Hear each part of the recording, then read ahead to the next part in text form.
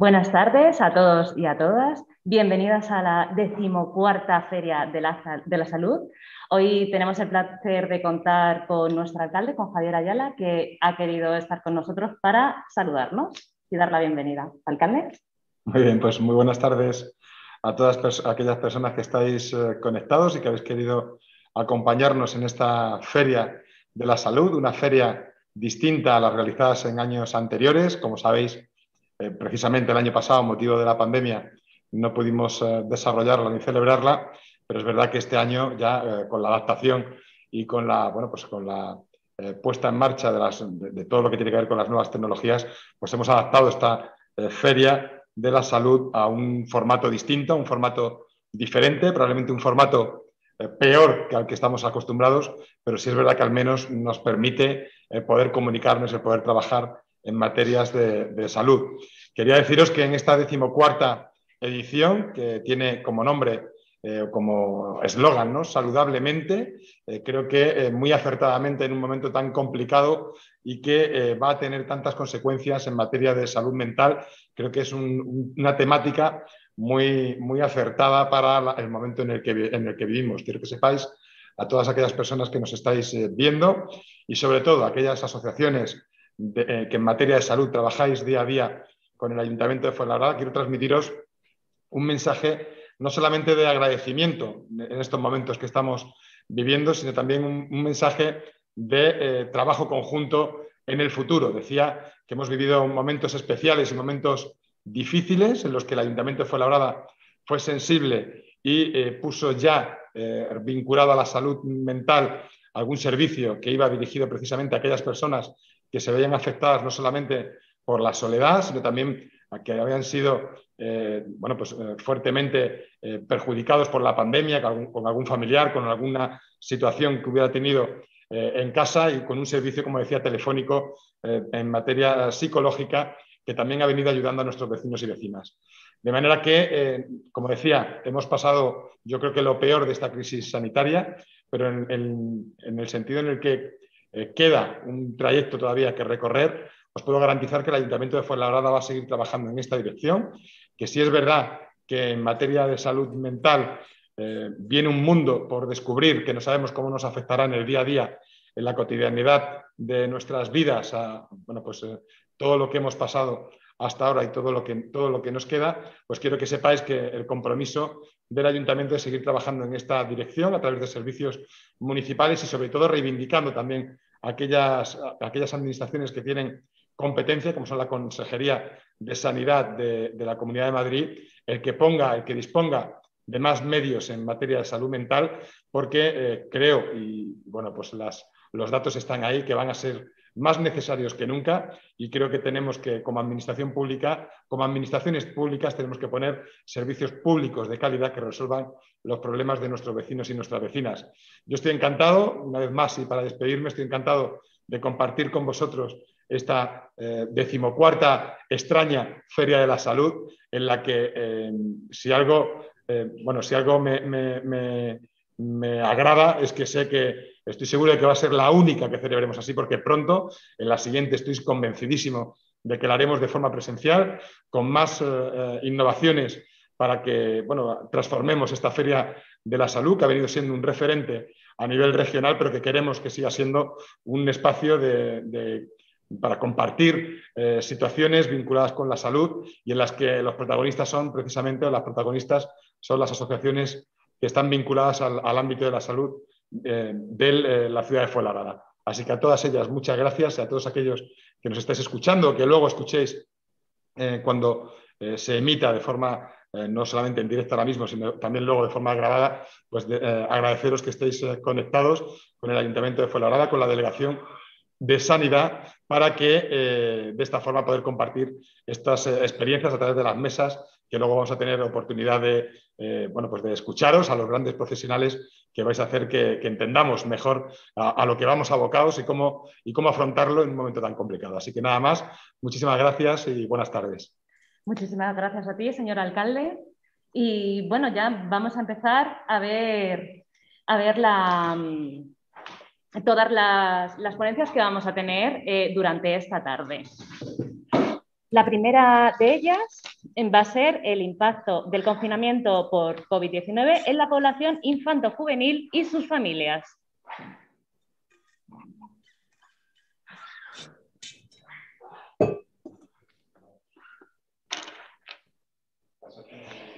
Para, ello, eh, tenemos a Esther Blanco.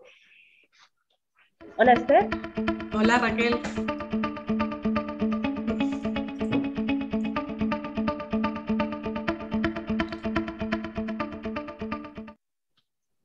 Hola Raquel. Hola Esther, ¿qué tal? Buenas tardes. Bueno, yo voy a presentar a, Esther. Ella es licenciada en psicología eh, clínica y de la salud por la Universidad Complutense de Madrid. Está habilitada como psicóloga general sanitaria y es especialista en terapia cognitivo-conductual. Eh, yo pido disculpas hoy porque algunas palabras me va a costar pronunciarlas, pero voy a intentarlo. Pues eso, como decía, está especializada en terapia cognitivo-conductual en la infancia y adolescencia. Y una cosa que me ha gustado muchísimo, que voy a remarcar, es que eres orientadora escolar. He trabajado como orientadora escolar para la Comunidad de Madrid. Muy bien. Em, el confinamiento nos ha traído cosas muy, muy negativas, cosas que hemos tenido que cambiar, cosas que hemos echado de menos, pero mm, bueno, a mí realmente me gusta ver casi siempre el lado positivo y yo seguramente que hoy también nos dirás cuál ha sido el lado positivo de esto. Y bueno, como tu ponencia está centrado en, la infancia y en la juventud, yo a mí me gustaría hacerte una, pregunta que realmente me ha estado, pues he tenido ahí rondando por la cabeza.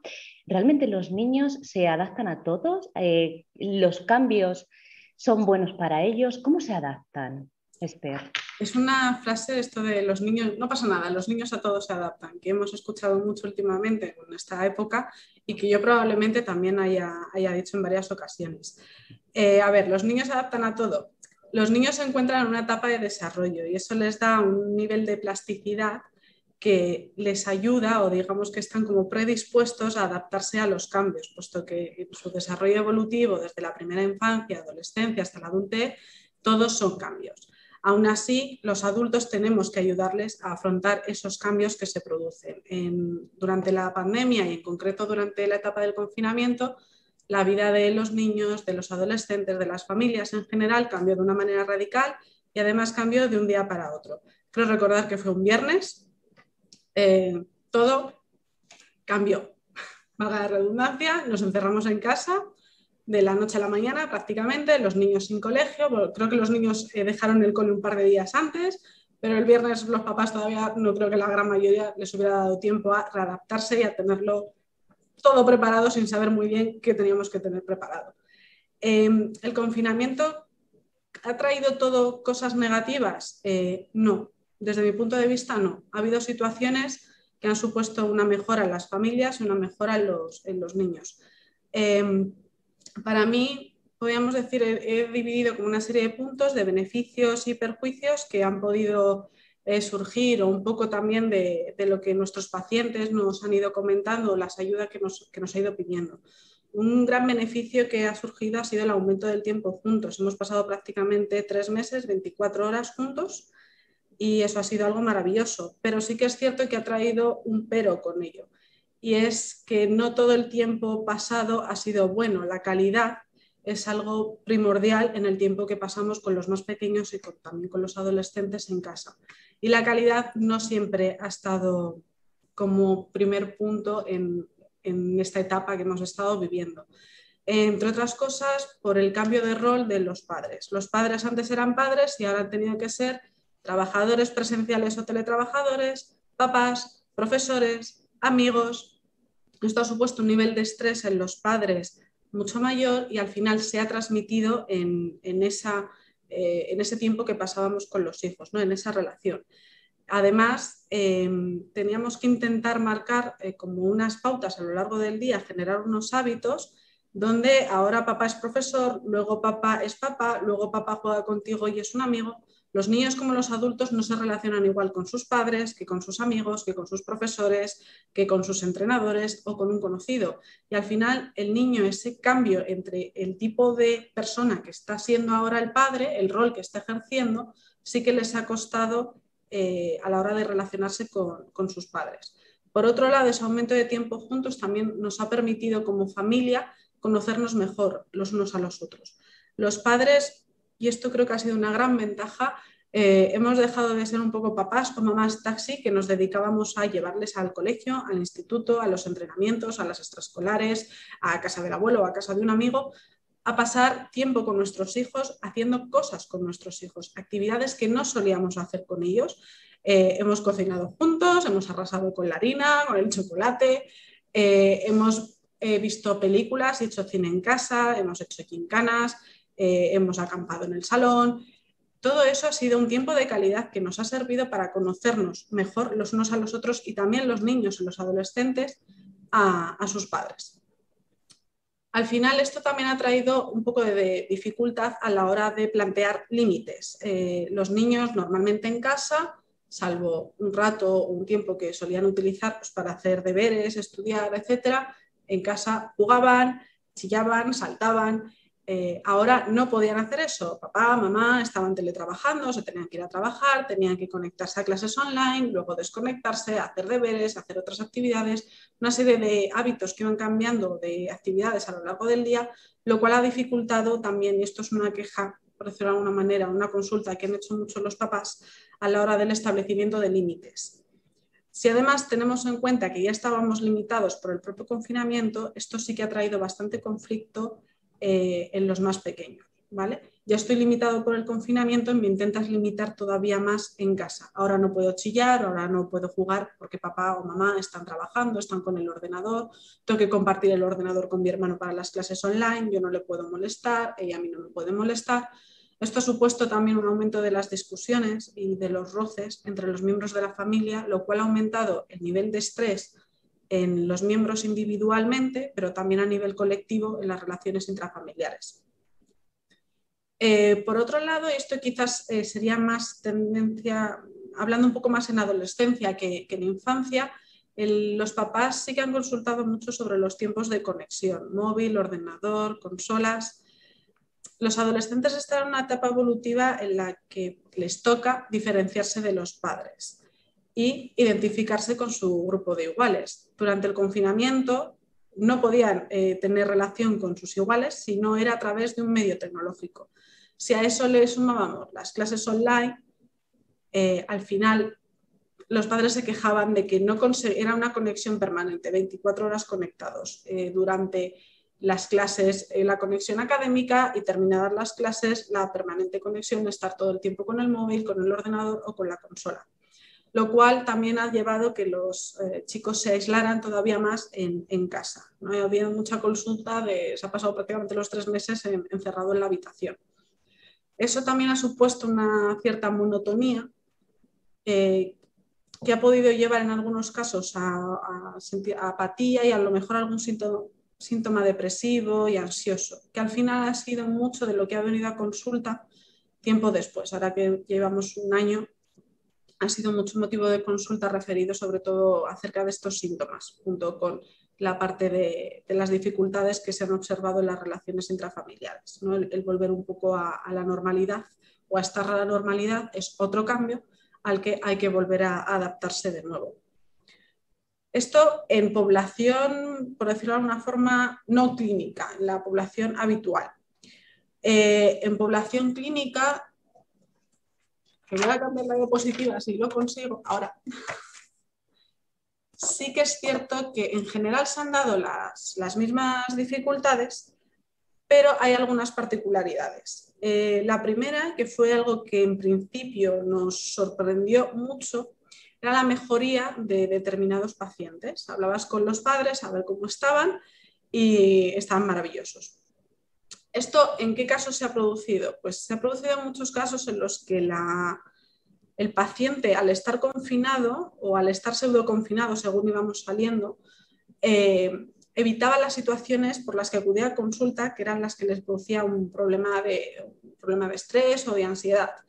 o evitaba situaciones o contextos donde se daba ese problema, pero que no se daba en casa. Por ejemplo, en la primera situación, eh, una alumna de 15 años con ansiedad social eh, no tengo que ir a clase, no tengo que enfrentarme al hecho de interactuar con mis compañeros, de presentar un trabajo en público, etc. Por lo tanto, mis niveles de ansiedad y de estrés bajan muchísimo porque en casa con las clases online no tengo ese, no tengo ese problema. Por lo tanto, me encuentro mucho mejor, vuelvo a dormir bien, etc. O mm, patología o circunstancias por las que se venía a consulta donde el, contexto donde se producía no era el del hogar.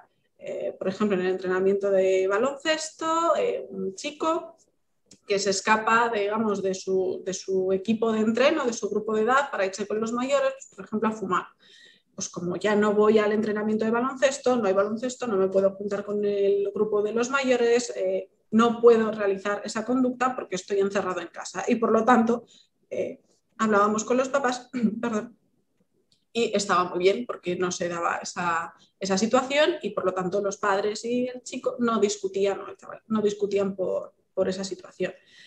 Em, a nivel de prejuicios, aquí ha habido varios. Eh, con los padres se les suma a esos, rol, roles que comentaba antes, de que pasaban de ser solo papás a ser profesores, a ser amigos, a ser tutores, aquí también han tenido que ser terapeutas. Y no todos los padres llevaban tanto tiempo en terapia como para saber un poco manejarse, ni han tenido la posibilidad de tener contacto asiduo con sus terapeutas, se han quedado un poco como perdidos y han tenido que ejercer de algo para lo que realmente no están formados, no al 100%. Por muchas pautas que tú trabajes con un padre, al final no es psicólogo, no es terapeuta, no es fisioterapeuta. Em, a esto se le añade también la falta de estimulación, sobre todo en población de menor edad, eh, por ejemplo en atención temprana o algo así. Eh, son muchos los terapeutas o en la terapia donde se estimula de una forma concreta y específica a ese paciente a través de material que no siempre se tiene en casa, que no siempre está disponible, material específico. Por lo tanto, esos pacientes así que han sufrido en muchos casos un retroceso en el nivel al que, al que habían conseguido llegar o la mejoría que estaban alcanzando por esa pérdida de, tratamiento. su desarrollo es un nuevo desarrollo, lo que se estaba avanzando se ha visto paralizado y en ocasiones ha habido un retroceso en él precisamente por esa falta de tratamiento o de esa continuidad en ese tratamiento o incluso el cambio. Nosotros, por ejemplo, en la clínica sí que hemos intentado mantener a través de teléfono, de Skype, de emails, todo lo que pudiéramos, contacto con nuestros pacientes, con los padres, para darles pautas, eh, ver a los chicos a través de la videoconferencia, poder trabajar con ellos y que no se quedaran tan, tan vacíos ni tan perdidos, pero al final no era lo mismo ni podíamos trabajar con ellos directamente de una forma tangible, sobre todo con los más chiquititos. Por otro lado, ese aumento de tiempo con conexión, móvil, ordenador, eh, en estos casos sí que ha habido, a lo mejor sí que se ha podido ver un poquito más de complejidad, a lo mejor un mayor nivel de obsesividad, etcétera y en problemas quizás de conducta había un aumento de agresividad ante los nuevos límites. Ya no eran los límites que podían eh, pretender instaurar los padres, sino que además el gobierno me limita con un confinamiento, no me deja salir, pero yo quiero salir y ha habido mucho problema, pues de chavales que a lo mejor se saltaban el confinamiento, se iban de casa y los papás pues no sabían muy bien cómo mantenerles eh, dentro o cómo hacer para que la convivencia fuera, fuera mejor al final, con esa pérdida de terapia, esa pérdida del vínculo y de esa contención que podíamos hacer los profesionales, ha supuesto una merma mayor en población clínica en estos casos que quizás en población general. Eh, a nivel de estimulación, antes se me olvidó decir también, no solamente el terapeuta per se, sino el material que se usa o, o incluso estoy pensando a lo mejor en terapias específicas como pueda ser en asistida con animales o donde se requiera de un instrumental eh, concreto, eso no se puede llevar a casa. Los padres no, podíamos indicarles cómo hacer algo a nivel casero que pudieran utilizar y eso ha supuesto una, merma para la, mejoría y la evolución de, de esos pacientes.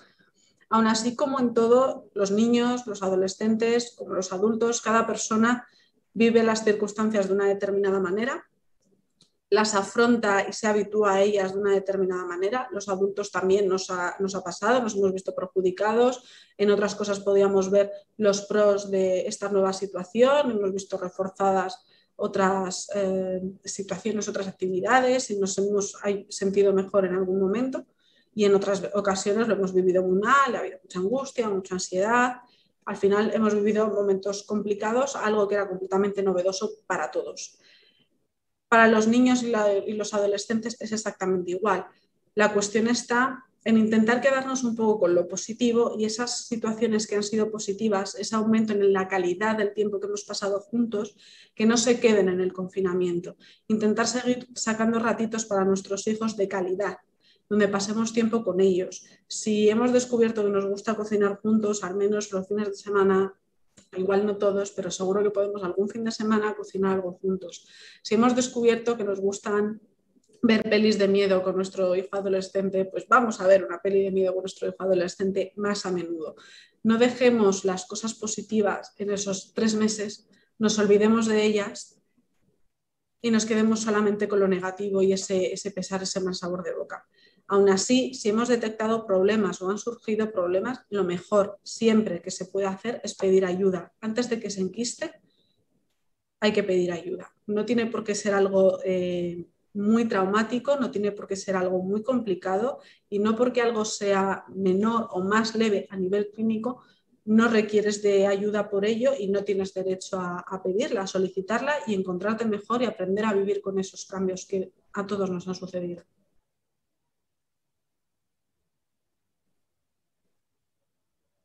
Muchísimas gracias, Esther. Perdona que he tenido ahí un problemilla con... es que te había perdido, perdón.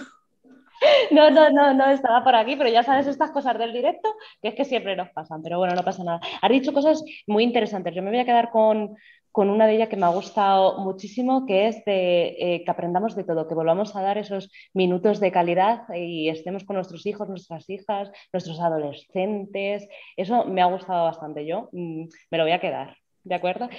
pero bueno, hemos tenido en el chat como varias preguntas, pero eh, voy a coger una que, me ha gustado, me ha gustado mm, bastante.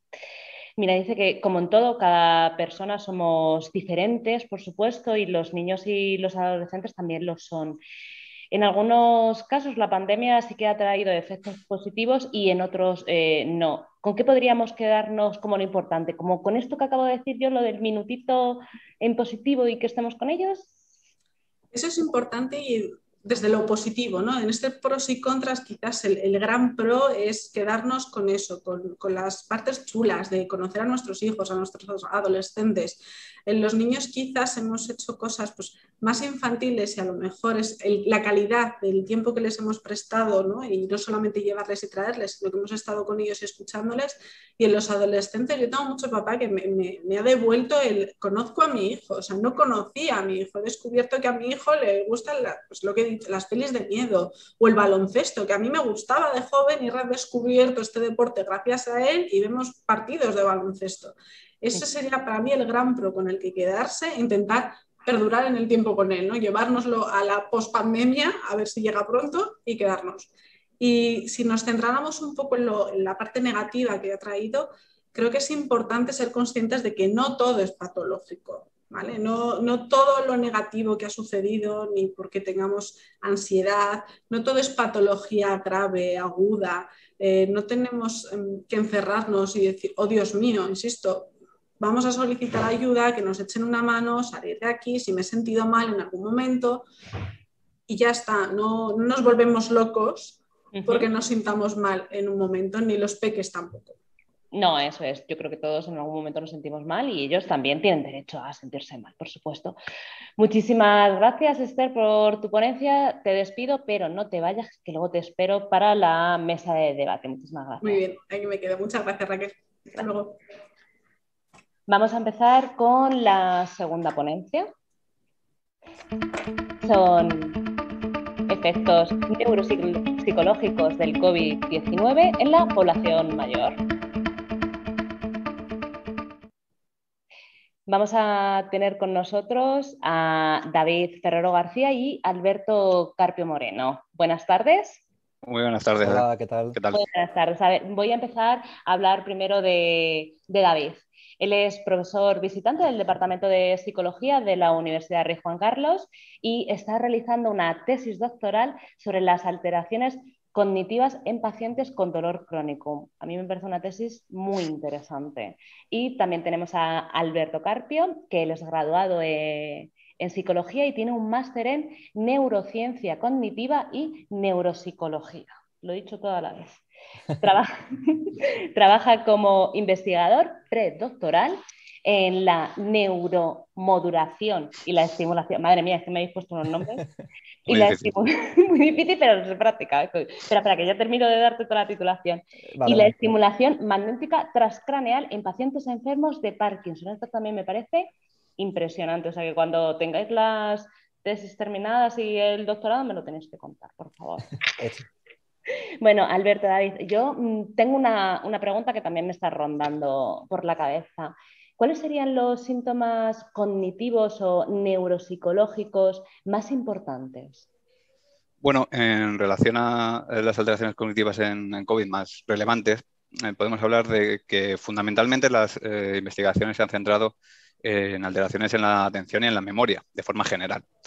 Eh, pero a cada día prácticamente se van publicando nuevas investigaciones, se va aportando nueva información acerca de cuáles son las alteraciones específicas eh, del COVID y no es sorprendente que poco a poco vayamos conociendo más. Fundamentalmente son esas dos, pero eh, eh, es bastante probable que aún no se sepa de forma correcta o total cuáles son las alteraciones neuropsicológicas o cognitivas asociadas al COVID.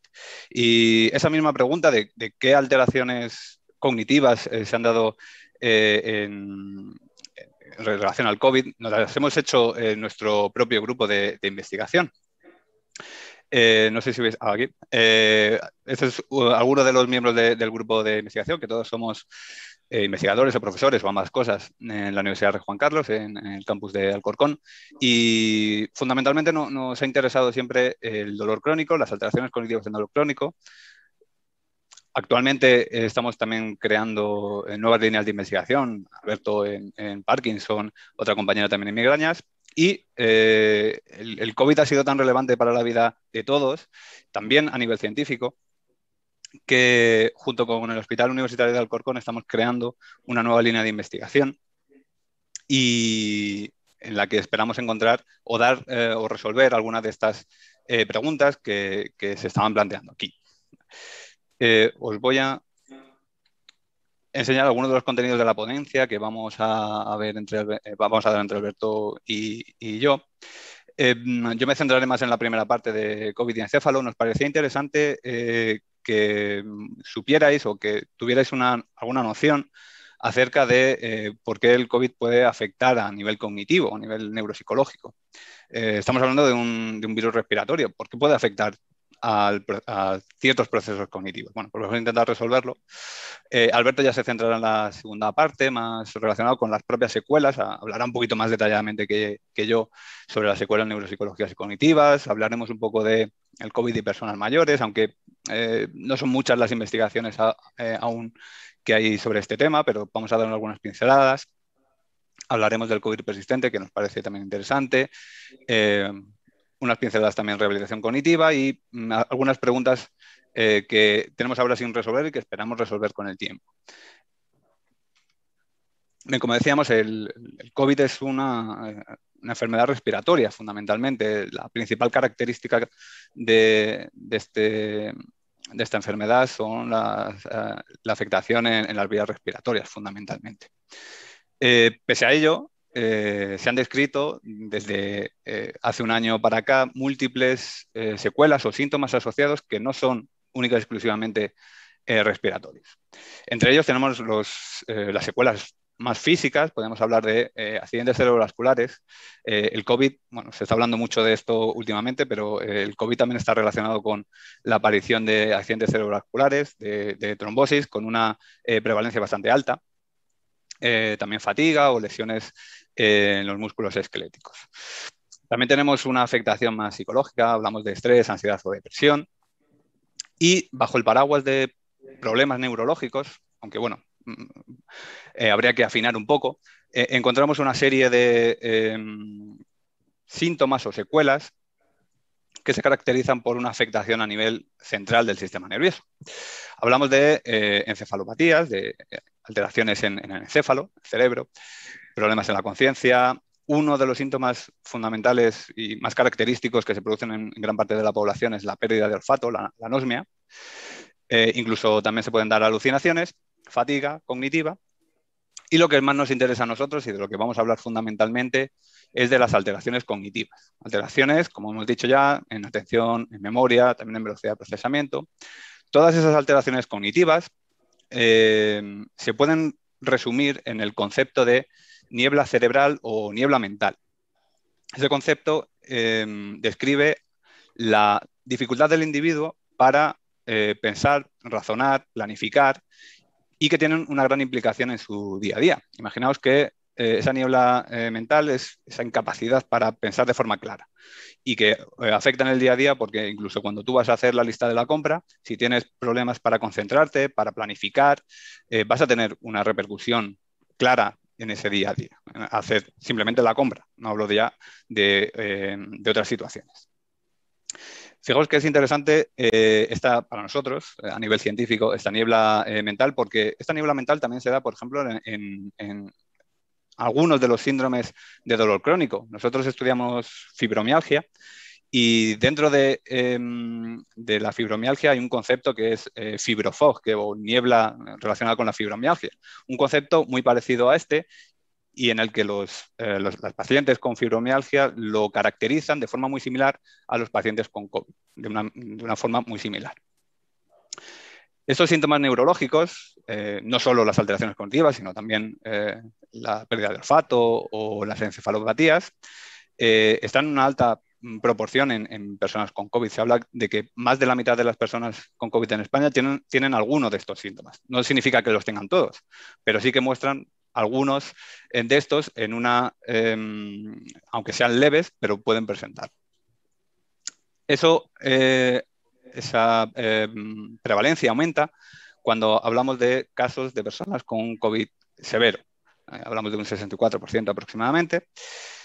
Esto implica que eh, únicamente está presente en los casos graves estas alteraciones cognitivas. Pues parece que no, porque también se han reportado casos eh, incluso cuando hay una ausencia de, síntomas respiratorios. Esto no significa que sean asintomáticos como tal, pero sí que pueden tener una sintomatología leve. En esos casos también eh, parecen afectar o, o aparecen estos síntomas cognitivos.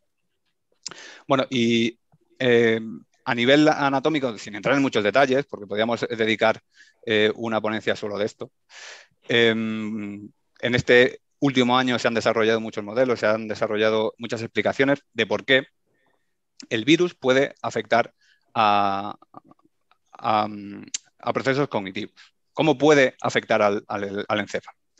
Bueno, pues eh, realmente eh, es bastante curioso cómo afecta, porque el virus, digamos, de forma eh, por sí mismo, no podría entrar al, encéfalo, ya que nuestro encéfalo está recubierto por una barrera, por una frontera que se denomina barrera hematoencefálica, que lo que hace básicamente es protegernos de tóxicos, de agentes externos que puedan afectar al encéfalo es bastante hermética esta barrera y eh, la enfermedad de COVID eh, lo que genera es una respuesta inflamatoria. Una respuesta inflamatoria natural, necesaria para combatir la infección, pero que eh, también tiene otra cara de la misma moneda. Esa respuesta inflamatoria excesiva va a provocar liberación de citoquinas, que es una sustancia que provoca esa inflamación, y esas citoquinas lo que van a hacer es disminuir eh, la frontera que existe, es decir, hacer la barrera hematoencefálica más permeable y a partir de ahí el virus puede colarse, entre comillas, para acceder al encéfalo. Aquí tenéis eh, varias imágenes bastante ilustrativas de cómo puede acceder. Eh, el, virus fundamentalmente está en el tracto respiratorio. Eh, en el epitelio olfatorio, que es una zona de, la nariz que está muy cercana al encéfalo. Aquí tenéis una imagen. Está separada del encéfalo por esta barrera hematoencefálica y por otras estructuras. Al hacer más débil esa barrera hematoencefálica, el virus puede acceder con mayor facilidad. Una vez que eh, ha alcanzado el encéfalo, ha pasado la barrera hematoencefálica, el virus no tiene ningún problema para acceder a diferentes regiones, como por ejemplo regiones del tronco o em, otras eh, regiones de terminaciones nerviosas, por ejemplo. Eso explicaría en parte eh, la variabilidad de estos síntomas neurológicos. Pero fundamentalmente la región más afectada es la región anterior del encéfalo, la que va a explicar la mayor parte de los síntomas eh, cognitivos o neurológicos, por la cercanía con eh, el tracto respiratorio. Eh, esta parte es la que iba a contar yo. a partir de esta diapositiva va a ser mi compañero Alberto que, en el que nos dé más información acerca de cómo puede afectar el virus a eh, diferentes aspectos cognitivos o neuropsicológicos. Pues muchas gracias, David. Y voy a continuar un poco con esta parte eh, en la que vamos a explicar lo que os ha comentado David de las secuelas neuropsicológicas y cognitivas en pacientes con COVID. Eh, como os ha explicado David, el virus al traspasar esta barrera hematoencefálica conecta y tiene contacto con el cerebro. Por lo tanto, vamos a tener déficits bastante importantes y muy incapacitantes eh, sobre todo en memoria y atención. También en velocidad de procesamiento, en lenguaje y en la función ejecutiva. Todo esto eh, se engloba porque este lóbulo frontal es el encargado de realizar todas estas acciones.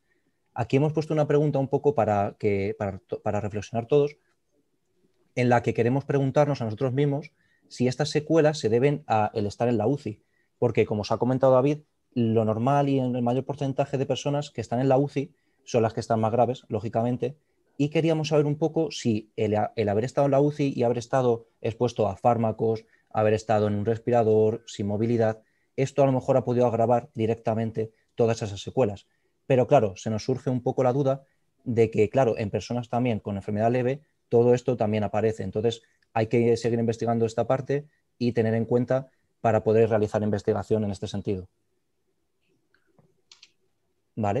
Y ahora ya vamos a centrarnos un poco más en las personas mayores y COVID, porque se ha visto, lógicamente, que han sido las más afectadas en esta pandemia. Y como podéis ver aquí en estos dibujos de aquí, tenemos una imagen a la izquierda, que sería una neurona básicamente recubierta de una vaina de mielina. Esta vaina de mielina lo que hace es poder transportar la información de manera rápida o lenta. Eh, cuando envejecemos de forma normal, esta vaina de mielina tiende a ir haciéndose un poco más débil, un poco más pequeña. ¿Qué ocurre en personas que han pasado la enfermedad de COVID? Que tienen una baila de melina muy similar o bastante parecida a personas con enfermedad de Alzheimer temprano. Es decir, que podemos encontrarnos personas a lo mejor con unos 50 años, 55 años, con una degeneración neuronal igual o similar a una persona a lo mejor con 80 años que por su estado normal tendría ese tipo de, déficit. Entonces, tenemos que tener muy en cuenta que estos daños en el cerebro pueden acelerar la aparición de este tipo de enfermedades neurodegenerativas. Es decir, si una persona con 50 años, 55 años aún es joven y ha, pasado el COVID, pues esta disminución en la vaina de melina va a poder provocar o que tenga mayor eficacia, por ejemplo, una enfermedad de tipo Alzheimer, a lo mejor esclerosis múltiple y todos esos temas que aún no se ha visto porque al ser tan reciente todo, eh, tenemos que seguir investigando. Eh, como pongo aquí, la afectación de estas conexiones nerviosas se relaciona con la velocidad de procesamiento por esta vaina de mielina que se ve debilitada y que afecta a la capacidad atencional y la memoria. Y esto repercute a su vez sobre todo en las actividades de la vida diaria de la persona. Vale, queríamos también nombrar aquí eh, un término que ya lleva un tiempo acuñándose, que es el COVID persistente. Es decir, personas que han pasado una enfermedad y que ha pasado, por ejemplo, eh, unas 5 semanas o unas 12 semanas y aún siguen teniendo todos estos síntomas. O sea, podemos pensar que una persona cuando ya se ha recuperado, eh, estas secuelas se van a ir regenerando, recuperando. Pero ¿qué ocurre? Que como el cerebro es atacado, el cerebro no tiene esa capacidad de defenderse y regenerarse. Es decir, lo que se ha dañado en el cerebro ya es muy difícil que se recupere y necesitaríamos mucha terapia eh, de rehabilitación eh, neuropsicológica, psicológica incluso, física. Como veis aquí, hay un gran número de síntomas que están para la COVID resistente, que siguen siendo los mismos, generales, eh, cansancio, respiratorios, digestivos y sobre todo neurológicos, que serían dolor de cabeza, esta niebla mental que os comentaba mi compañero David, eh, que afectaría sobre todo la atención y la memoria. Esto es de lo que más se aquejan este tipo de pacientes y sobre todo es lo que más hace que en su vida diaria repercuta, porque como hemos hablado antes, eh, ir a hacer la compra, que se me olvide, estar trabajando y no recordar lo que tenía que hacer. Todo esto al final a la persona le va a generar un estado de ansiedad y de incluso de depresión que debería ser tratado en la parte más psicológica. También eh, hay que tener en cuenta que los síntomas pueden aparecer y eliminarse. Es decir, este virus es un poco así, un poco impredecible en ese sentido. Eh, y como pone aquí, empeora con el esfuerzo físico y mental. ¿Qué quiere decir esto? Que cada vez que nosotros nos esforzamos a intentar recordar, eso va a generar un estrés en nuestro sistema nervioso que va a conseguir que casi empeore más. Es decir, tenemos que ir a un psicólogo, ¿vale? Será muy importante, o a un neuropsicólogo, para que sea capaz de valorar estas secuelas y poder rehabilitarlas. Y llegamos a la parte de rehabilitación cognitiva. Como pongo aquí, el tratamiento debe ser integral, es decir, debe cubrir la parte neuropsicológica para todas las alteraciones cognitivas, eh, la parte física a través de, por ejemplo, como pongo, técnicas de relajación, ejercicio aeróbico suave, eh, control de la respiración.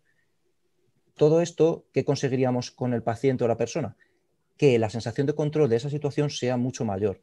Por lo tanto, si tratamos la memoria y la atención, vamos a conseguir que la persona tenga una gran calidad de vida o una mejor calidad de vida. Los síntomas aún no sabemos si con el paso de, imaginemos, 6-7 meses desaparecerán, pero bueno, se ha visto que en principio en bastante porcentaje de población siguen manteniéndose. Y por último, queríamos indicar unas preguntas que aún no están respuestas por la ciencia ni por la investigación. Eh, la primera pregunta sería que si existe un, perfil de personas con COVID con mayor riesgo de sufrir alteraciones cognitivas. Pues en principio lo que se ha visto por el momento es que son mujeres y de una mediana edad. pero aún deberíamos seguir eh, investigando en este sentido. La segunda pregunta es que si los síntomas se mantienen en el tiempo o son puntuales. Pues en el caso de personas que desgraciadamente sufren COVID persistente, parece ser que los síntomas se siguen manteniendo en el tiempo, pero tampoco sabemos si llegará un momento en el que desaparecerá o eh, mantendrán esos síntomas y deberían ser tratados. Luego también, muy importante, ¿qué procesos están realmente eh, alterados? Sabemos que la atención y la memoria están alterados, pero puede ser que también la velocidad de procesamiento esté muy alterada, la memoria de trabajo esté muy alterada, el lenguaje, y eso todavía no se conoce y no se comprende. Y una pregunta final que nos parecía muy interesante decir es que si las vacunas mejorarán estas alteraciones cognitivas. Vimos un estudio muy reciente en Israel que indicaba que las vacunas sí que mejoraban bastante estos problemas cognitivos en algunas personas. Obviamente es un estudio con muchas personas, pero todavía no se puede generalizar a otro tipo de población. Por lo tanto, entonces creemos que es muy importante, sobre todo, vacunarse e intentar encontrar si estas alteraciones cognitivas eh, se rehabilitarían a través de las vacunas. Nada más, muchas gracias por todo. Muchísimas gracias a vosotros. Ha sido, la verdad, que una ponencia espectacular. Yo al principio digo, no sé si la voy a entender, no la voy a entender, pero eh, me, vamos, me ha encantado. Lo único que, no sé si me ha encantado mucho, ¿no? Porque ahora me traes mis dudas, mis cosas y me habéis hecho que cuando llegue a casa me ponga a leer, ¿eh? Bien, bien, eso está bien. Hay algo que, no, que, de las últimas preguntas digo, siempre tenemos que estar las mujeres ahí en medio, medio afectadas. Es verdad, ¿eh? ha salido así, ¿eh? No, es que no sé cómo ¿eh? Y otra cosa que también era muy importante, que me estaba surgiendo la duda mientras que estabais hablando, era si la vacunación, qué efectos traía o no, pero vamos, la última pregunta que has puesto me la ha dejado muy clara, que es muy importante la vacunación. Eso es. Creo que todos tenemos que estar vacunados, a ver si el procedimiento sigue rápido, ya no podemos vacunar todos. Bueno, muchísimas gracias. Tengo una última pregunta y ya. Vale, perfecto. No os vayáis, ¿eh? No, no, no, no. ¿Cómo debería realizarse la evaluación completa para saber qué síntomas nos ha traído el COVID, nos ha dejado? Porque a mí lo de que habéis dicho, lo del COVID persistente, la niebla, esta, me, preocupa. Pero bueno, contarme. Vale, pues una evaluación completa, como he puesto eh, tanto en la rehabilitación, debe ser integral, es decir, debemos evaluar eh, todas las posibles funciones cognitivas alteradas. Porque tenemos una mentalidad de que solo está alterado la atención a la memoria, pero tenemos que estudiar muchos más tipos, por ejemplo, el lenguaje, las funciones ejecutivas. Por lo tanto, la función del neuropsicólogo aquí en este caso sería evaluar todas las funciones cognitivas posiblemente alteradas para poder crear una especie de mapa en el que digamos, vale, lo más afectado es X y X, ¿vale? También la parte psicológica, con mis compañeras psicólogas, lo harían muchísimo mejor. Y seguramente esa parte de depresión, de ansiedad, de ese sentimiento de falta de control de la situación, sería muy importante. Y por último, por último la parte física. Es decir, esta fatiga, este cansancio, este malestar, también es muy necesario tratarlo, sobre todo con fisioterapia. Vamos, mi conclusión es que los psicólogos y los neuropsicólogos, vamos, sois fundamentales. Y lo tenemos que, en el cuadro médico lo tenemos que incluir ahí.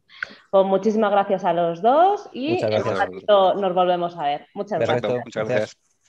Bueno, pues vamos a empezar con la tercera ponencia, la última, pero no por ello la menos importante. O sea que, por favor, la tercera ponencia, que la tengo por aquí, Mujer, Salud Mental y COVID-19.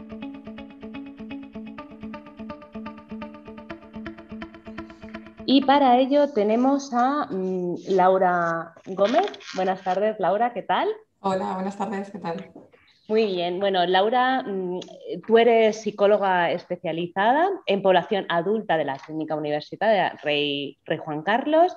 Eh, diriges el equipo de psicólogos de la clínica. Tienes muchísima experiencia en tratamientos de terapia individual, en bueno, diferentes problemáticas psicológicas y también es algo que me ha gustado mucho que he leído aquí en terapias grupales y terapias de pareja, ¿verdad?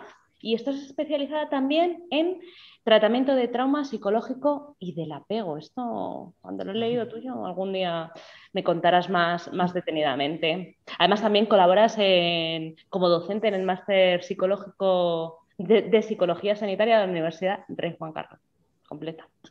Bueno, Laura, tú hoy nos vienes a hablar de mujer, es algo que bueno, a mí siempre me ha gustado, no, no sé por qué, pero bueno.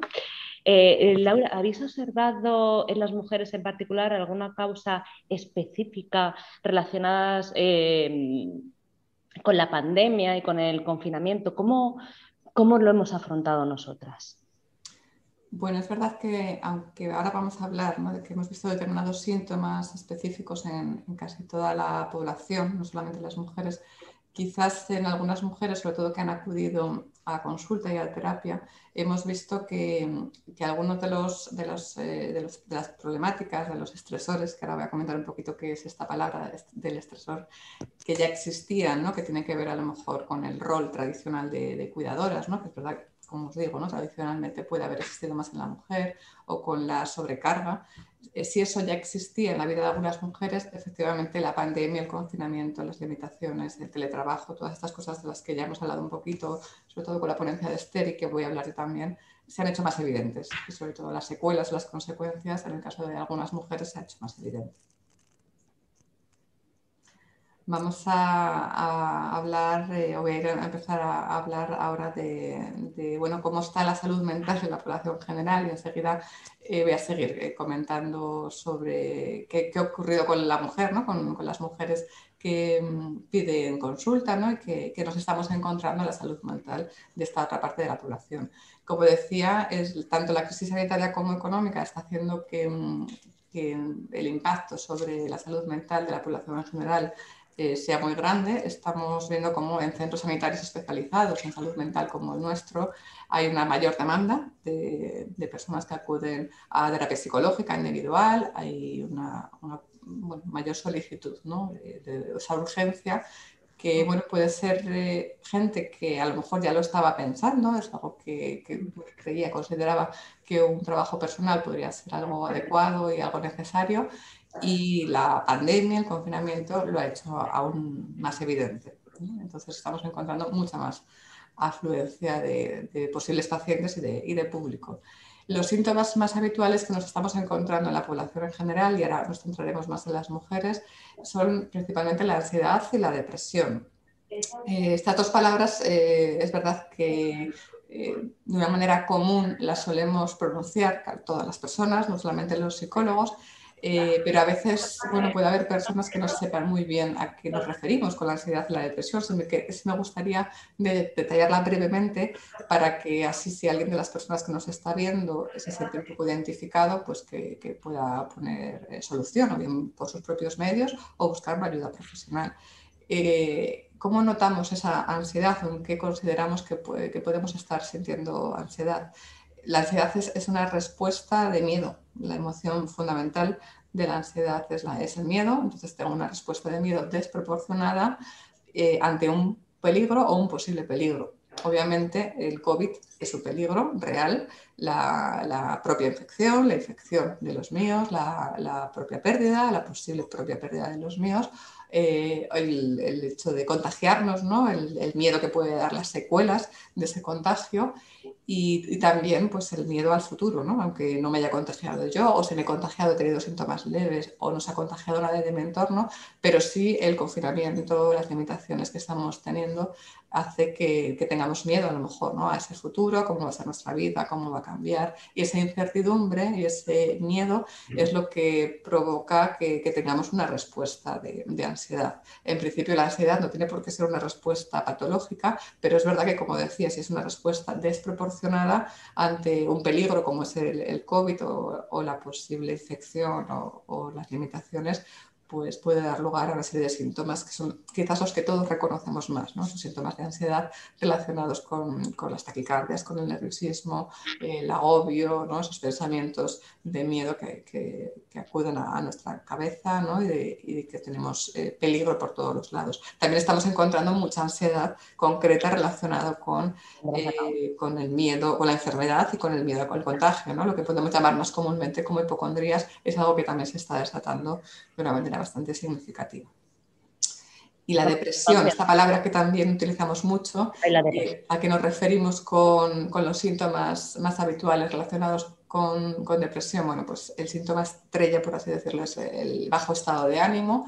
Es un síntoma muy habitual que nos estamos encontrando en la población en general, en particular en la mujer. Lo que ocurre que antes de la pandemia también eh, había más mujeres que, que padecían depresión y más mujeres que acudían a nuestras consultas por depresión.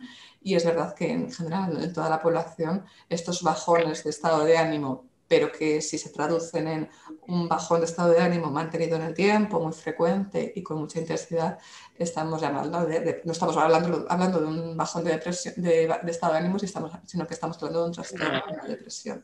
Y entonces ahí sí que pues tenemos que, acudir a un profesional para que nos ayude. Nos estamos encontrando, eh, aparte de esa baja, bajada de estado de ánimo, personas que no, no disfrutan con, con aquellas cosas que, antes disfrutaban, primero porque ya no nos dejan, ya no podemos, obviamente, por cuidado nuestro, cuidado de los demás, no podemos hacer aquellas cosas que antes nos enriquecían, esos reforzadores que llamamos los psicólogos, esas pequeñas recompensas que tenemos a lo largo del día o en las vacaciones, los fines de semana, están muy limitadas y ya no disfruto. Además, en caso de, que, de poder hacer algunas cosas, no disfruto igual. Estamos encontrando también muy relacionado con la depresión sentimientos de, soledad. Y hay mucha gente que ha tomado más conciencia de este sentimiento. A lo mejor eran personas que ya sentían un sentimiento de soledad y que era una soledad más o menos eh, elegida o que no le llevaban mal. Y no pasa nada porque nos sentamos solos o porque vivamos solos o porque tengamos un círculo eh, más bien pequeño, siempre y cuando yo no lo viva con aversión o no lo viva con malestar. ¿Qué ocurre? Que el confinamiento eh, dio lugar a mucha conciencia de este sentimiento de soledad y a darme cuenta de que quizás no lo estábamos viviendo eh, tan bien como creíamos y que, que claro, que deseamos eh, más contacto, otro tipo de contacto. Este tema del contacto también está siendo muy importante, el, que tenemos limitado el contacto físico, tenemos limitado, sobre todo las personas que viven solas, y, bueno, pues desde que somos pequeñitos, desde que somos bebés, el contacto físico es el principal transmisor, el, principal comunicador de muchas emociones y de, muchos mensajes, por así decirlo, ¿no? sobre todo cuando no se puede tanto el lenguaje verbal y, lo tenemos muy limitado. Esto no está ayudando, ¿no? sino que está ocasionando y fomentando esos sentimientos de, de soledad, de depresión o incluso también de ansiedad. Principalmente estos son los síntomas más habituales que nos estamos encontrando en la población general, por supuesto también en, la mujer, en el caso de las mujeres.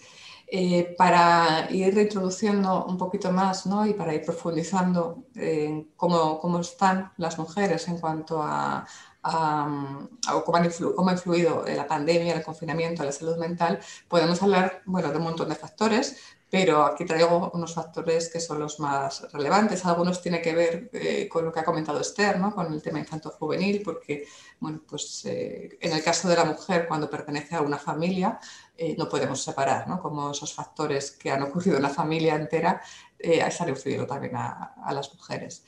Eh, el primer factor que traigo son, en caso de que las haya, las desigualdades en el ámbito profesional. Eh, si ya las hubiera, eh, cualquier mujer que ya estaba notando esas desigualdades, pues efectivamente con la pandemia, con el confinamiento, ha sido, se han hecho más evidentes y las consecuencias han sido más perjudiciales.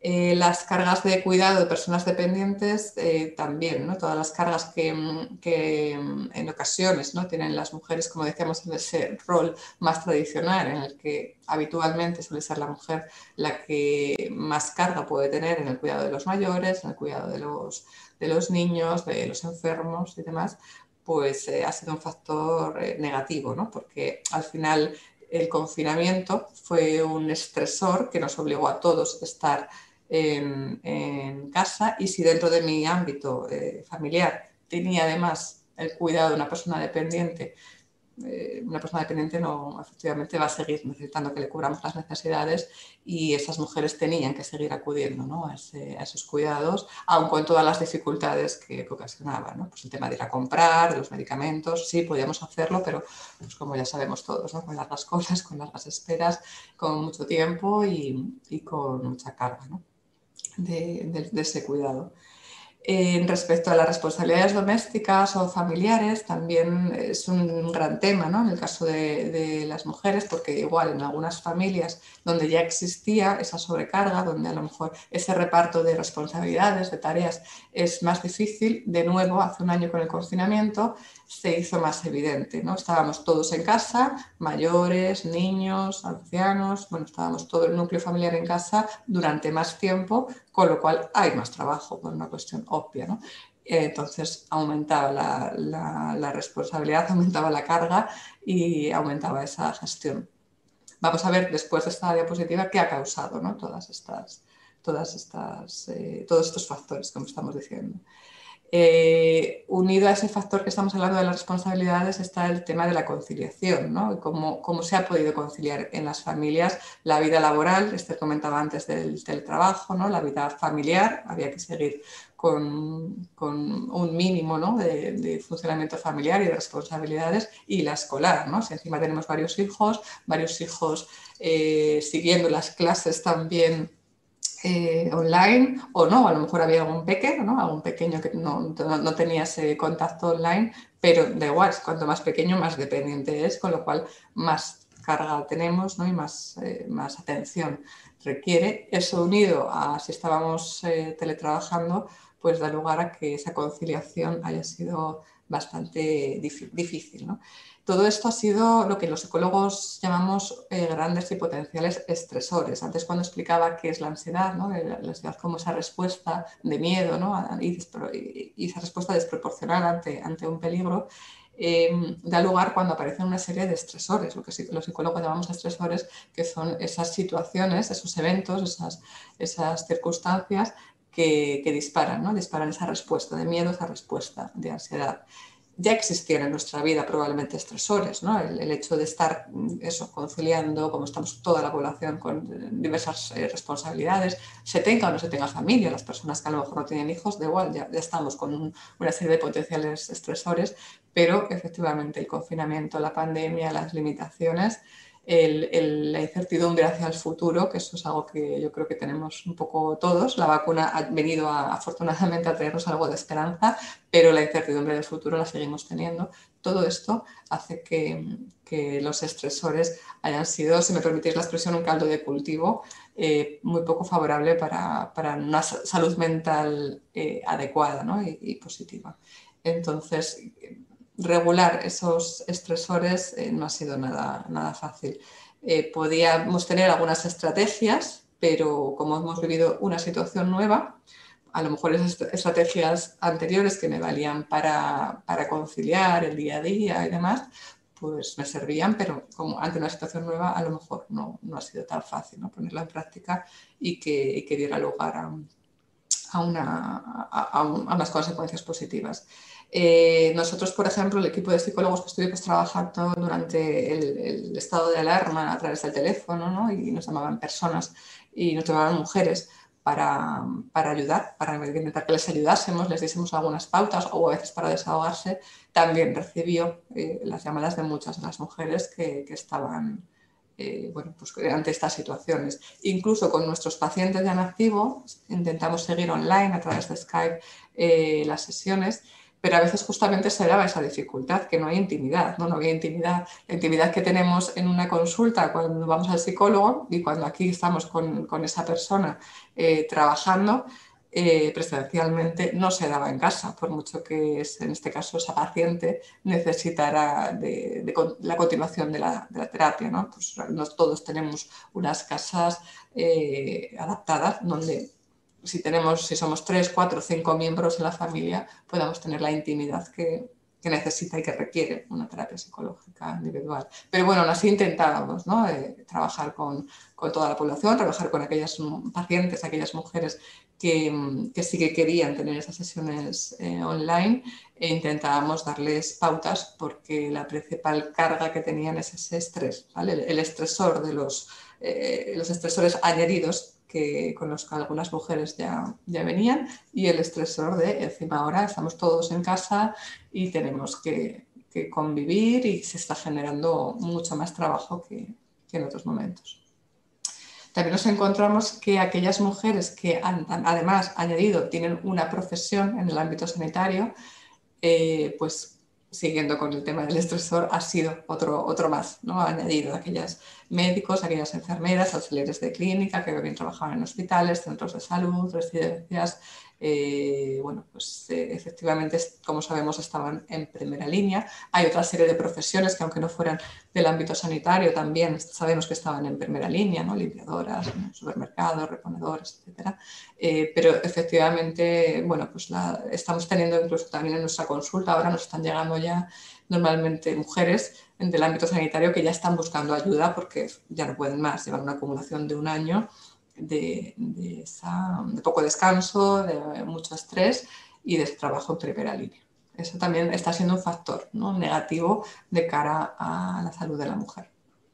El bajo nivel socioeconómico también influye y cuanto menos recursos, en este caso económicos, tengo, pues eh, menos ayuda de este tipo puedo, puedo pedir de alguna manera, ¿no? Entonces, pues no, a lo mejor no voy a poder eh, contar con, con la ayuda de, alguna cuidadora o un cuidador o de, un, eh, o de alguien que me ayude con las tareas domésticas de casa eh, o a nivel tecnológico, ¿no? De repente los dos en, la pareja teletrabajamos, los niños también se ponen a, telestudiar, ¿no? las clases son online y necesitamos cuatro dispositivos en casa, ¿no?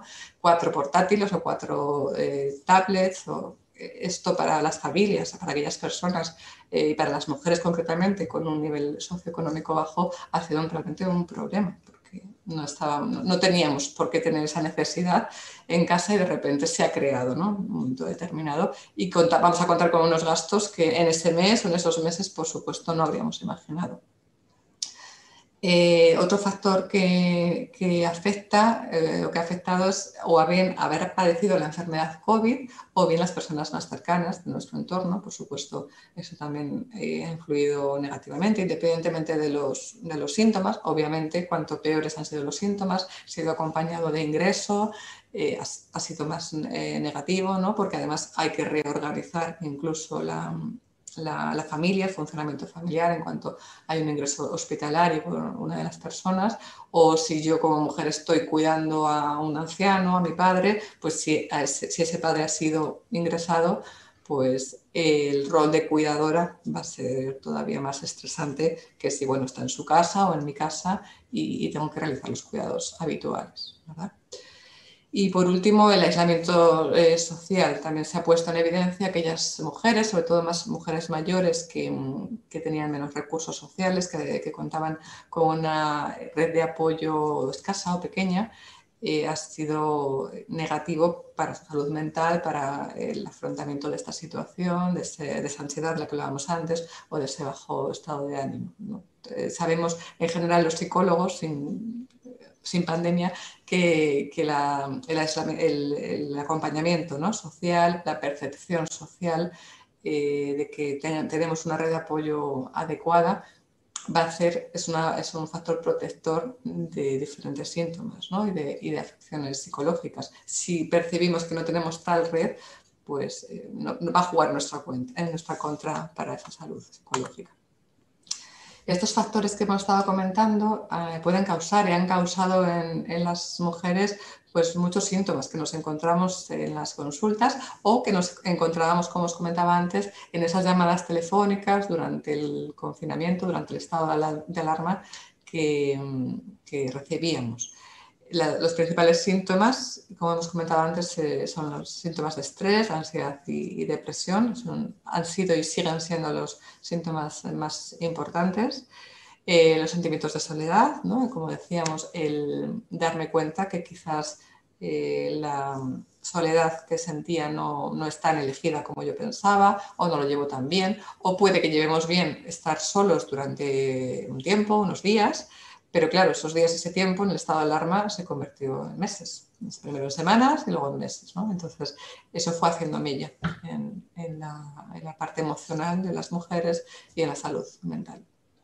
Y también nos encontramos con muchos sentimientos de frustración, de culpa por no llegar, ¿no? por no llegar a todo, de alguna manera, ¿no? Por, no, por no llevar esa, esa doble actividad, esa, esas eh, multitareas ¿no? relacionadas con el teletrabajo, con la parte laboral, pero también con el cuidado familiar, con las responsabilidades, ¿no? esa, ese perfeccionismo en el que algunas mujeres vemos en, terapia, ¿no? que, que, han sido inculcadas, educadas de que llegar a todo, hay que ser superwoman.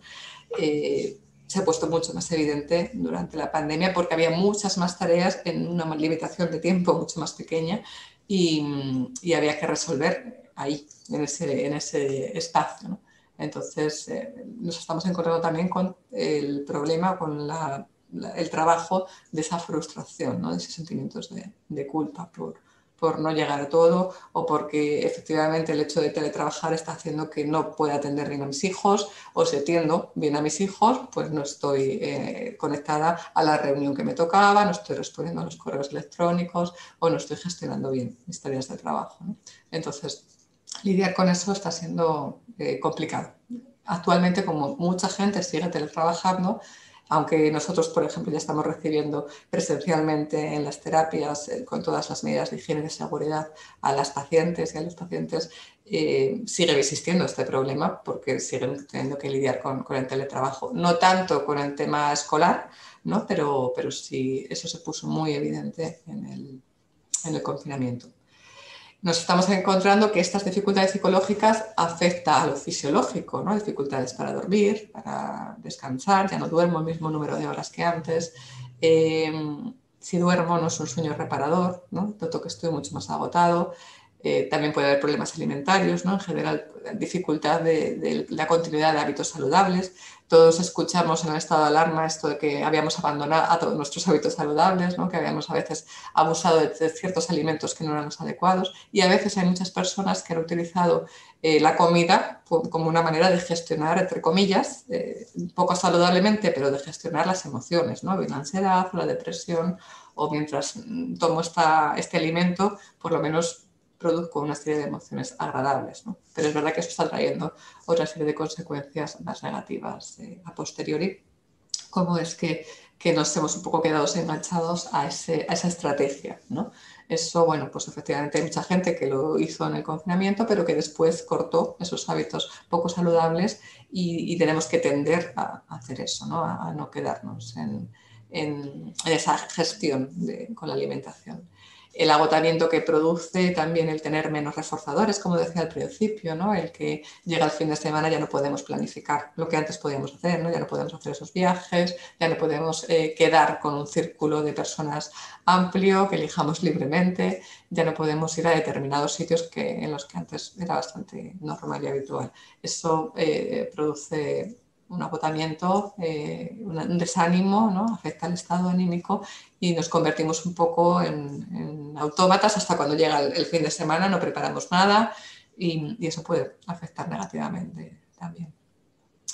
En ocasiones hemos visto que puede haber habido un abuso de sustancias, de alcoholismo, de, drogas, ¿vale? porque que, bueno, pues eso, después del confinamiento, con todos esos cambios. O el alcohol, que es, la sustancia que todos podemos tener más accesible, eh, sí que se vio que hubo un aumento ¿no? del consumo y que igual que con aquellos alimentos menos adecuados, se utilizó para intentar gestionar estados anímicos negativos. Y luego eso puede haber desembocado en un abuso, tanto del alcohol como de, otras sustancias.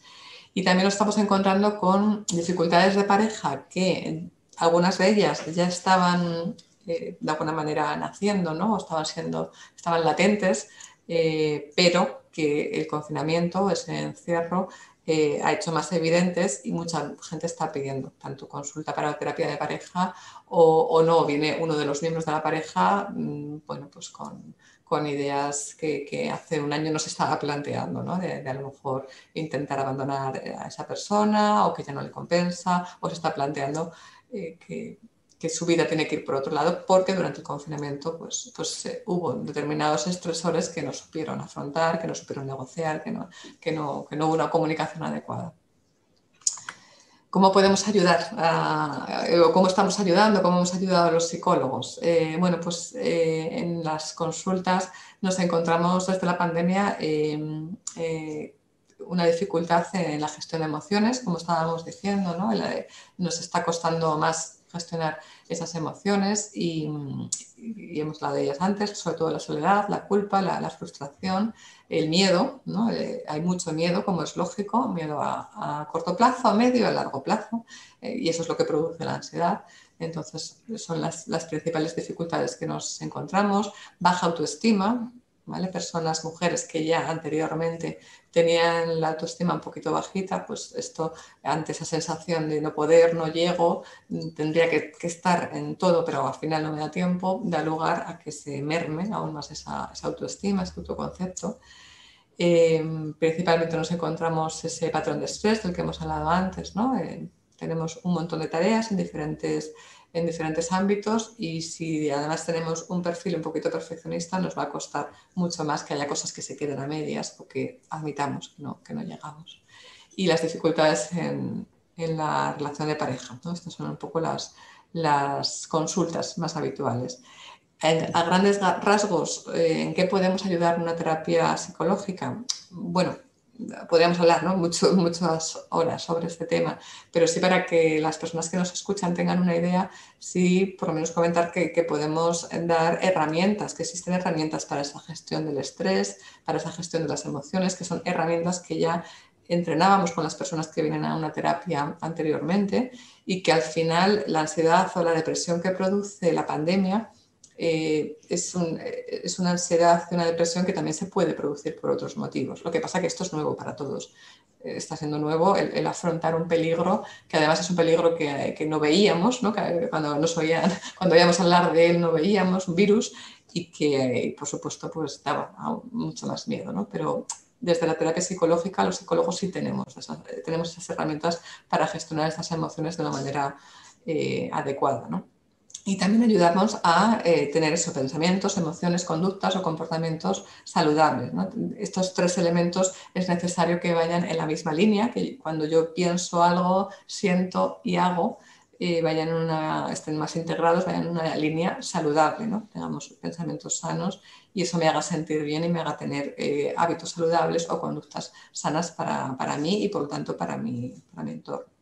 Entonces, eh, lo importante es eh, ver un poquito cómo, cómo, estoy yo afrontando esta situación, si más o menos estos tres elementos van en la misma línea. Puede haber días que se nos escapen estas situaciones, ¿no? todos tenemos días malos, pero es verdad que si vemos que es muy frecuente ¿no? que esta serie de síntomas o de emociones eh, estaban ocurriendo con mucha frecuencia, con mucha intensidad y con mucha duración, pues bueno, quizás sí que me tengo que plantear la ayuda de un profesional de la salud mental para que me, ayude. Siempre decimos que los psicólogos somos un bastón de apoyo durante un tiempo, me ayuda, eh, es un aprendizaje de esas herramientas que luego voy a poder utilizar tanto para este tema de la pandemia como para eh, miedos, peligros futuros, que todos vamos a tener situaciones de incertidumbre que esperemos que no sean como esta, eso sí, ¿no? pero al final, al final todos en algún momento vamos a, tener problemáticas y dificultades relacionadas con con el miedo o con la incertidumbre o no, saber qué, puede ocurrir. Pues nada más, daros las gracias y ahí tenemos el contacto de nuestro servicio, de nuestra clínica, por si alguien pudiese interesarse. Muchas gracias, Laura. Me ha encantado toda la ponencia. Bueno, ya me, he ido aquí apuntando unas cuantas preguntitas, unas cuantas cosas que ahora, ahora te, te, te, iré diciendo. Y si no tenemos tiempo hoy, pues ya, ya te llamaré y ya te preguntaré cosillas, porque ha estado muy interesante. A mí lo de la... Bueno, has dicho varias cosas, pero yo mm, te voy a preguntar una así, que me ha venido. Eh, también nos hemos conocido nosotras a nosotras mismas y nos hemos dado cuenta nosotras de aquellos factores que teníamos que nos estresábamos, pensábamos que sí, pero no, pero que realmente sí nos estresaban. O sea, nos hemos dado cuenta en todo este tiempo, ¿no? Sí, sí, lo comentaba de alguna manera, pero sí que es interesante remarcarlo que, que efectivamente muchas personas han dado cuenta que, que había aspectos que estaban afectando, ¿no? Bien puede ser el tema de la soledad, de pareja, eh, laboral, ¿no? También hay gente que se ha dado cuenta, mujeres que se han dado cuenta que no estábamos tan bien en lo laboral o que, o que no, no estábamos tan desarrollados o con unas condiciones tan adecuadas como creíamos, ¿no? Hay diferentes terrenos donde muchas mujeres sí que se pueden haber dado cuenta en este tiempo. Yo creo que también pues, sacar algo positivo, porque siempre tenemos que sacar algo positivo, eh, tenemos que, que ver que ha sido, sobre todo el confinamiento total, el estado de alarma, ha sido un momento también de parar. Parar. Y luego teníamos mucho trabajo, ¿no? porque enseguida nos pusimos a, adaptar los sistemas para llegar a todo, pero ha habido más momentos de parar. O llegaba el fin de semana y era un fin de semana que no se, se parecía al resto de días en que teníamos que estar todos en casa, lo único que a lo mejor no teletrabajaba, eso sí, que hay gente que sí, que, que ese era el problema del teletrabajo, que seguía teletrabajando el fin de semana. ¿no? Pero sí ha sido el momento de parar, como tú dices, de darnos cuenta y de ser más conscientes de, cosas que a lo mejor no estaban funcionando tan Muy bien. Eh, ¿Qué recomendaciones les darías a estas mujeres que nos están escuchando y que se han sentido identificadas con algunas de las cosas que has contado?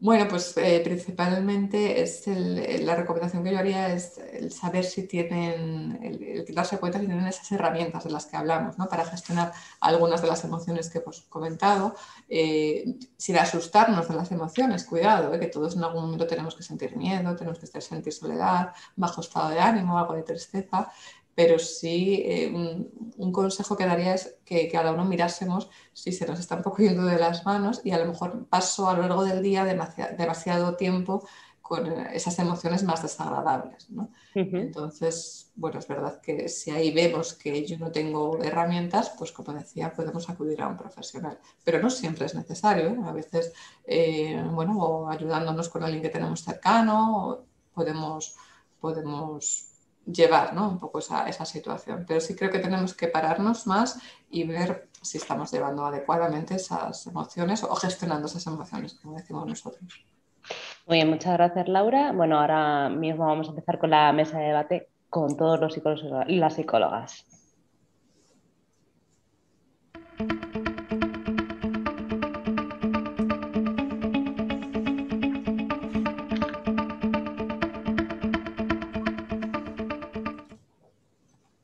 Bienvenidos a todas y a todos. Me han encantado todas vuestras ponencias. Tengo un montón de, preguntitas que haceros y tal, o sea que voy a ir empezando con alguna de ellas. Eh, vamos a empezar con una que tengo aquí apuntada, que es interesante.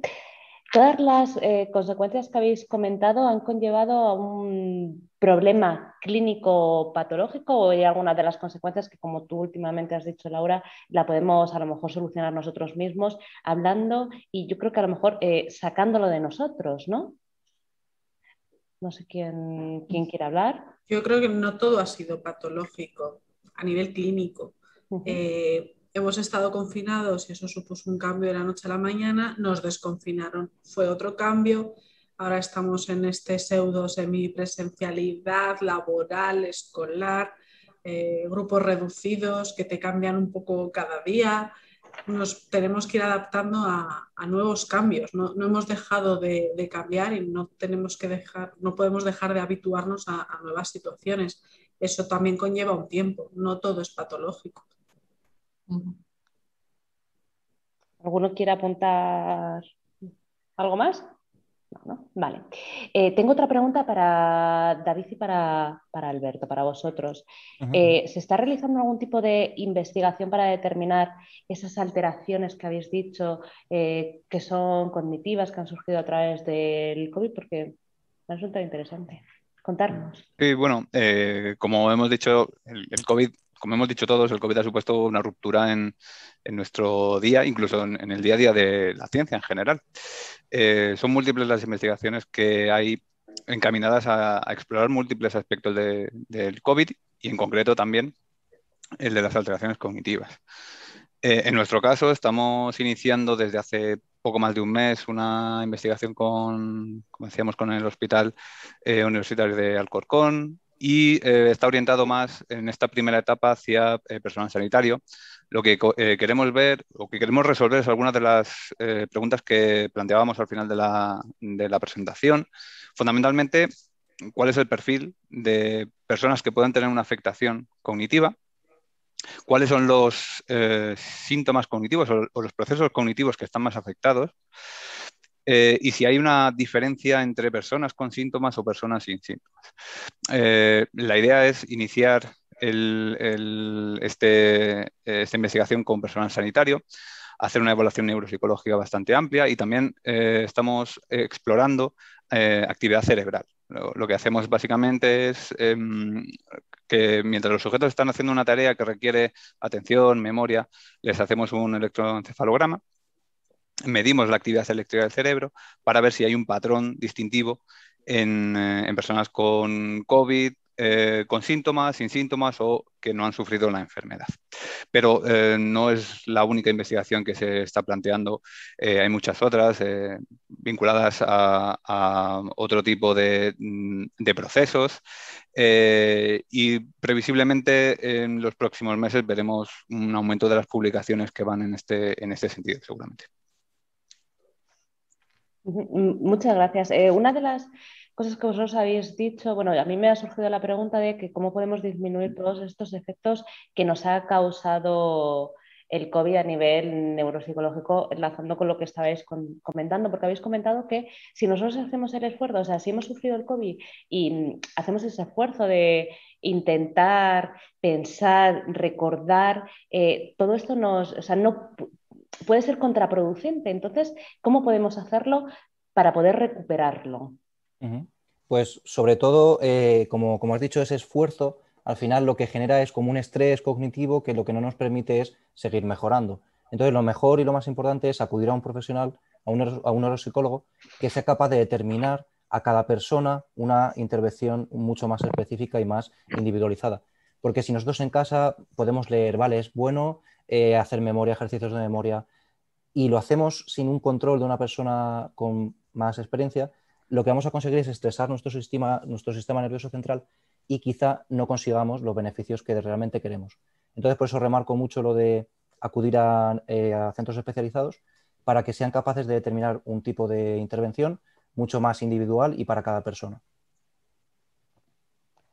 Perfecto, o sea, es como si hubiésemos tenido, mm, no lo sé, bueno, yo por ejemplo, mm, mm este pasado verano me rompí el tobillo, entonces no podía hacer todos los ejercicios que a mí me gustaría, sino que todos aquellos que me mandara el médico. O sea que con este caso es exactamente lo mismo, son aquellos ejercicios que mm, vosotros como neuropsicólogos son los que determináis, que no nos vengamos arriba, que mm, hablemos los primeros, que vayamos a esa atención profesional, ¿verdad? Sí, correcto. Pues yo me lo dejo apuntado. Muy bien.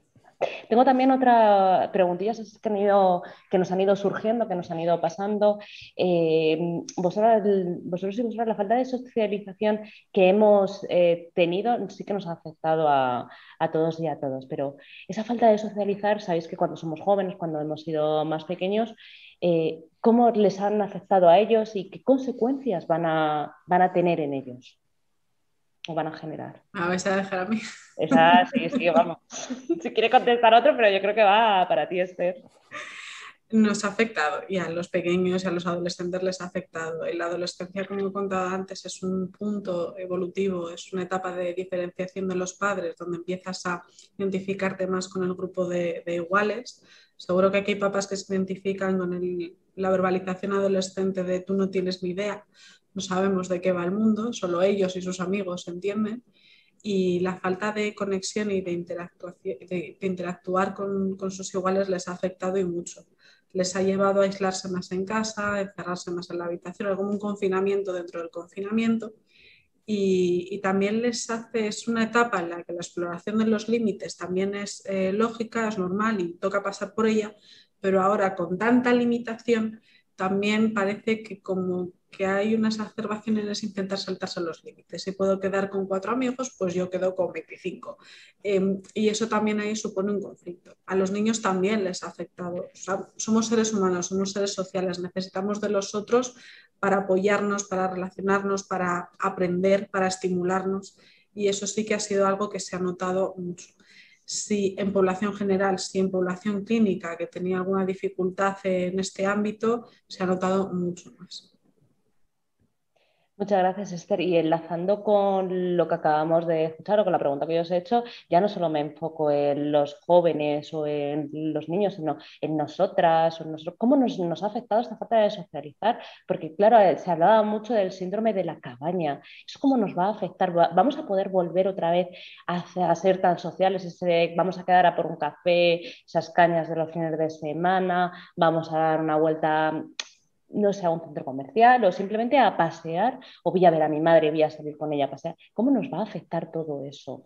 Pero en el caso de personas adultas eh, eh, y en mujeres, eh, tanto en mujeres como en, hombres, en hombres también nos está afectando. ¿no? Pero es verdad que nadie sabemos, porque es la primera vez que vivimos algo así, nadie sabemos cómo va a afectar a, a futuro. Pero sí que el no saber, como decía antes, genera mucha incertidumbre.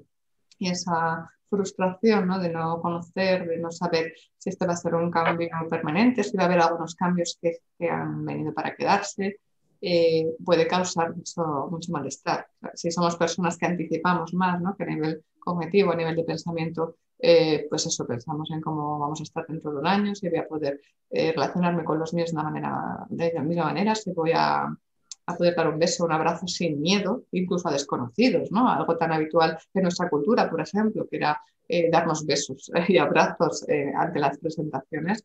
Es verdad que no sabemos qué va a ocurrir ¿no? con todo eso. Yo, yo remarcaría la incertidumbre, ¿no? Cómo nos está influyendo la incertidumbre de ese futuro que, es aún más impreciso, cabe. ¿no? Pero sí el hecho de no socializar, claro que también está afectando, ¿no? Como os decía antes, el no poder planificar, el no poder eh, hacer bueno, pues, eh, nuestros planes de, sociales habituales, sí que afecta. Yo, yo aquí eh, añadiría una recomendación, como me preguntabas antes, y es que intentemos todos planificar durante la semana, el fin de semana, con actividades como hacíamos antes. No podemos hacer las mismas actividades, ¿vale? no puedo planificar un fin de semana igual que antes, pero sí el que tengamos incentivos ¿no? y que vayamos cambiando de una semana a otro eh, con diferentes eh, actividades. Pues, pues, voy a dar un paseo a la sierra, eh, quedo con determinadas personas en la calle, con distancia, con mascarilla, con las medidas adecuadas, pero tengo contacto con esas personas, las veo, hablamos, no solamente por videollamada o por teléfono, ¿no? sino que miro a esa persona a los ojos y, bueno, pues cuando llegamos a casa, si hacemos ese tipo de actividades vamos a, encontrarnos un poco mejor, ¿no? Y actividades que tengan que ver con la socialización siempre y cuando cumplamos las medidas de seguridad. Y todo esto en la población mayor a mí me preocupa, ¿no? O sea, todos tenemos a nuestros padres, nuestras madres, nuestros abuelos que estaban acostumbrados a salir, aunque solo fuese pues, a comprar el pan o a juntarse con sus amigas, a dar un pequeño paseo. ¿Cómo les está influyendo? Porque yo sí que he notado quizás que la población mayor, al estar acostumbrada a salir, a tener más contacto, se han sentido como más, no sé cómo expresarlo, no sé si decir retraídos, pero sí como que se quedan más en casa, como que ellos tienen aún más miedo a, salir. ¿Esto cómo, cómo creéis vosotros y vosotras que ha influido en la población mayor? Bueno, eh, a nivel eh, neuropsicológico o, cognitivo, eh, yo creo que les ha afectado bastante. estamos hablando de que, este de que una parte importante de, nuestra vida es la vida social. cuando tenemos una afectación social se ve em, influido en, nuestro bienestar físico y mental. nos ha afectado a nosotros que hemos podido tener más herramientas tecnológicas fundamentalmente para estar en contacto con, con nuestra familia, nuestros amigos, eh, en personas mayores que pueden vivir solas eh, y que exista una brecha tecnológica para comunicarse con, familiares o amigos. Eh, yo creo que, ha habido una influencia importante sobre su estado físico y mental, de forma, yo creo, inequívoca. Además, es algo que has aportado tú también, Raquel, que ya no solo existe eh, ese momento puntual del, estado, del primer estado de alarma, sino el miedo que se ha generado y que aunque, la persona eh, pueda salir ya a la calle, por miedo no lo hace. Y estamos al final incidiendo aún más en, la afectación física y mental que, tiene esa persona mayor. Muy bien, la verdad es que o sea, para mí ha sido esclarecedor. Yo creo, no sé, estaría aquí casi todo el día o toda la tarde hablando con vosotros y preguntándoos cosas porque, no sé, se me han surgido un montón de cosas también que os quería hacer. Bueno, algunas, venga, unas últimas preguntillas, que sé que al público le está gustando bastante vuestras intervenciones. Sobre, yo sí que os voy a preguntar así en general sobre la intimidad, porque yo creo que ahora hemos perdido un poquito la intimidad en casa cuando nos hemos estado confinados, no hemos tenido nuestros momentos, nuestras, no sé, porque yo no sé, yo creo que vosotros y vosotras os pasará también que os gusta ese momento de sentarme sola en el sofá, eh, ver a lo mejor eh, ese programa de televisión que me gusta o coger el libro y estar y leerme un capítulo y tener un momento para mí. Eso, ¿cómo nos ha ido, qué nos ha provocado? en nosotros. No sé si eh, algunos de, bueno, vosotros lo habéis sentido en algunos de, de vuestros mm, pacientes. ¿Qué me contáis?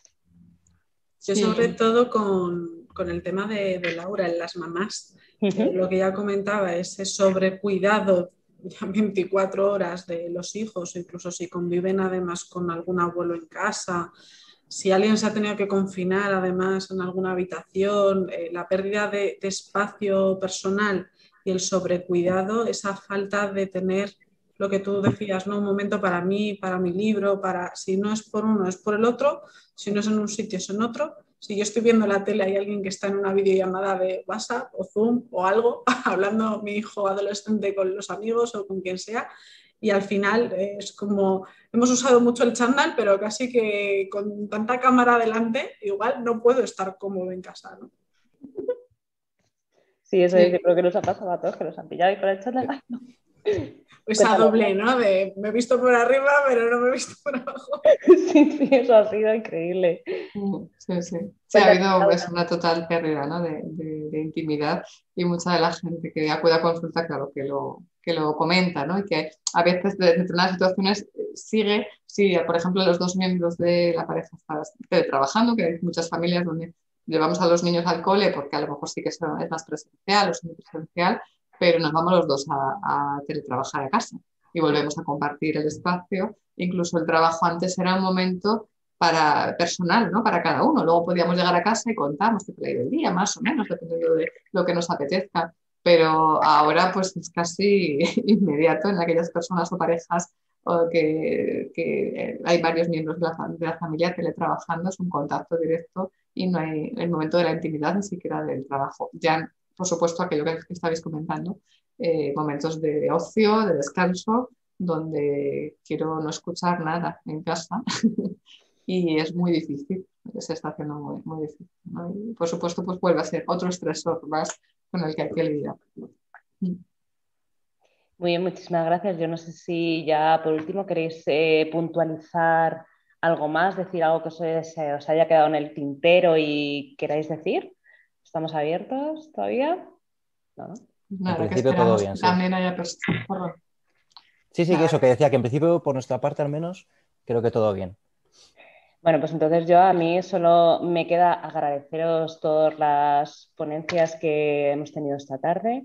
Ha sido increíble tener a los psicólogos y psicólogas, neuropsicólogos, no más vais a decirlo más.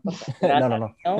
O sea que muchísimas gracias, muchísimas gracias también por vuestra brevedad, por vuestras eh, respuestas a esas preguntas. A mí me habéis generado más y vamos, creo que al público en general también le habéis generado alguna que otra pregunta y habéis resuelto muchísimas dudas. O sea que muchísimas gracias y nos vemos en la próxima. Muchas gracias. gracias. Gracias. Saludo. Gracias. Bueno, pues esta ha sido la decimocuarta Feria de la Salud. Yo como conclusiones sí que me he apuntado aquí unas cuantas que creo que a todos y a todos nos gustaría tener, o sea que voy a ir diciéndolas poco a poco. Seguro que me dejo muchas, pero bueno. La más importante creo que lo han dicho tanto Alberto como, como David, que es la vacunación. Creo que es muy importante, ya no solo a nivel neuro, neuropsicológico, sino a nivel general, es, importante. También me, he quedado con, con, esa intimidad que no hemos tenido, que, bueno, que tenemos que ir mejorando con los estresores. O sea, eso es algo que no, no sabía yo que, que las, lo teníamos ahí, pues sí, los teníamos y muchísimos nos hemos dado cuenta. Nos hemos conocido algunos unos poquitos más, hemos conocido a nuestros niños, eso me ha encantado porque es cierto y vamos a ver el lado positivo de todo esto. Yo creo que el lado positivo es que hemos convivido muchísimo más con nuestra familia más cercana, los hemos conocido cosas que antes que con el estrés del día a día no hemos podido y creo que eso ha sido muy importante. Hemos llegado a conocer a nuestro entorno, creo que es el lado positivo y nos vamos a quedar con ello. Con qué más también tengo aquí apuntado la frustración de las mujeres. Bueno, eso es algo que siempre tenemos nosotros, no lo podemos evitar, pero bueno, seguiremos trabajando en ello. Y yo creo que la conclusión con la que me he quedado yo y seguramente que muchísimos de los que nos estáis viendo es que los psicólogos y las psicólogas, los neurólogos y las neurólogas las tenemos ahí, los tenemos que meter dentro de nuestro cuadro médico están para ayudarnos y para darnos muchísimas pautas y para entendernos a nosotros mismos e incluso también entender a nuestros hijos, nuestras hijas, nuestra pareja, nuestros padres, nuestras madres, nuestros amigos también. O sea, que están ahí para ayudarlos.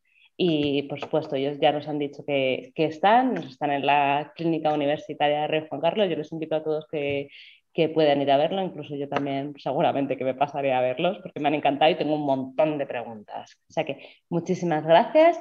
Os invito a la feria que tengamos el año que, que viene, ya os iremos anticipando unos meses antes de que lo vamos a hacer, pero os emplazo para el año que viene.